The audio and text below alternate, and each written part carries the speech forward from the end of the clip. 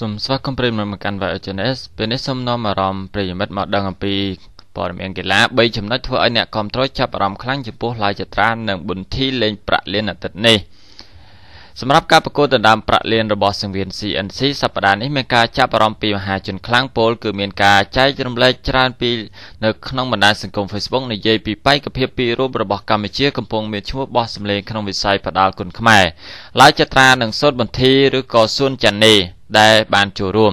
កត្តាដែលធ្វើឲ្យមហាជនចាប់អារម្មណ៍ខ្លាំងនេះនិងចង់ឲ្យការប្រកួតនេះមកដល់ឆាប់ៗនោះគឺ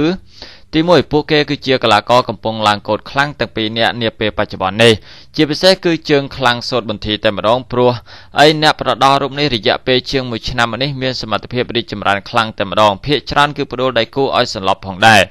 ជើងខ្លាំងខាងលើនេះប្រកួត តែជាមួយគូឯកនៅ CNC ចំណែកឯឡាចត្រាវិញជាកីឡាករល្អនិងឡើងតាំងពីយូរមកហើយរាល់ការប្រកួតរបស់គាត់គឺកម្រចាញ់ណាស់ជើងខ្លាំងមកពីខេត្តកំពង់ស្ពឺខាងលើនេះប្រកួតច្រើន តែជាគូឯកឬគូពិសេសប្រចាំកម្មវិធីនៅសង្វៀនបាយ័នទី2 បើសិនជាកីឡាករទាំងពីរបានប៉ះគ្នានៅវគ្គផ្ដាច់ព្រាត់ម៉ារ៉ាតុងមែននោះគឺជាជំនួបសងសឹកផងដែរព្រោះអីសូត្របន្ទីធ្លាប់សន្លប់ក្រោមផ្លែកែងរបស់ឡាយចត្រាម្ដងក្នុងកម្មវិធីផ្ដាច់ព្រាត់ជើងឯកថ្នាក់ជាតិឆ្នាំ2017នៅឯទឹកដីខេត្តកណ្ដាល 7NG ដូច្នេះអាចនិយាយបានថាជាការសងសឹកនិងវាស់ស្ទង់សមត្ថភាពគ្នាម្ដងទៀតផងទី3អ្នកនិយមគ្រប់គ្រងគុនខ្មែរចង់ឃើញអ្នកលេងកែងទាំងពីរអ្នក នេះប៉ះគ្នាតែម្ដងព្រោះអីឡើយចត្រានិងសុទ្ធមន្ទីសុទ្ធតែកែងល្អនិងស្និតជង្គង់ដ៏គ្រោះថ្នាក់ដូចគ្នាព្រោះកលាករច្រើនរូបបកហើយដែលស្លាប់ដោយក្រមស្និតទាំងនេះដូច្នេះហើយដែលធ្វើឲ្យមហាជនមានការចាប់អារម្មណ៍ខ្លាំងនិងចង់ឲ្យពួកគេជួបគ្នាម្ដងទៀត។គួររំលឹកផងដែរថាកីឡាករកម្ពុជាពីររូបរួមមានឡើយចត្រានិងសុតបន្ធីត្រូវ ឡើងប្រកួតកម្មវិធីម៉ារ៉ាតុងនាថ្ងៃទី4ខែសីហាឆ្នាំ2018នៅសង្វៀន CNC ជាមួយអ្នកប្រដាល់មកពីថៃពីររូបដើម្បីរកម្ចាស់ប្រាក់4លានរៀលកម្មវិធីនេះបើសិនកីឡាកររូបណាឈ្នះនៅប្រកួតដំបូងនឹងត្រូវឡើងទៅប្រកួតនៅវគ្គទី2ផ្ដាច់ព្រាត់តែម្ដង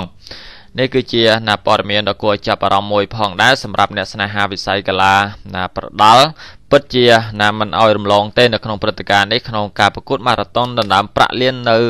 ស្ថានីយទូរទស្សន៍ CNC នាថ្ងៃសៅរ៍នេះផងដែរដោយជើងខ្លាំងកម្ពុជាពីររូបគឺមានឡាយចត្រានិងសោតបន្ទីកជាបេក្ខភាពតែម្ដងសម្រាប់ដណ្ដើមណាប្រាក់លាននេះហើយអ្នកទាំងពីរក៏ធ្លាប់ជួបគ្នាម្ដងហើយដែរកាលពីដណ្ដើមណាជើងឯកថ្នាក់ជាតិក្នុងការនោះគឺឡាយចត្រាវាយឲ្យសុតបន្ទីសន្លប់តែម្ដងបានអ្នកទាំងពីរអាចមានឱកាសឡើងទៅវគ្គផ្ដាច់ព្រាត់និងក៏ដូចជាការសងសឹកផងដែរ និងសង្ឃឹមថាអ្នកទាំងពីរនឹងជួបគ្នានៅវគ្គផ្ដាច់ព្រាត់ទោះបីអ្នកណាឈ្នះក៏នៅតែជាខ្មែរដូចគ្នាផងដែរសូមអរគុណចំពោះការតាមដានរបស់ប្រិយមិត្តទាំងអស់គ្នាសូមជួយចុចពាក្យ Subscribe និងសញ្ញារូបកណ្ដឹងនៅខាងក្រោមដើម្បីទទួលបានព័ត៌មានថ្មីៗជាបន្តទៅទៀតសូមអរគុណ